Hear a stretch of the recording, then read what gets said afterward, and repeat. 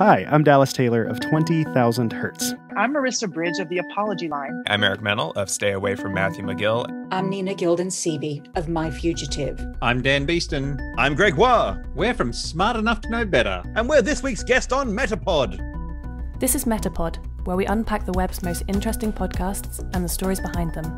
Well, I think of the apology line first and foremost as an art project. You know, this show, it's a little different than anything else I've ever made, and structurally, a real blending of like personal memoir with investigation. The questions that the podcasts get to, there is a process by which people are held to account.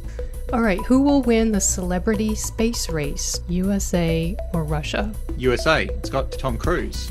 I must say, I'm quite disappointed to learn that perhaps you don't roar before you bite into a cheeseburger. da da da da da.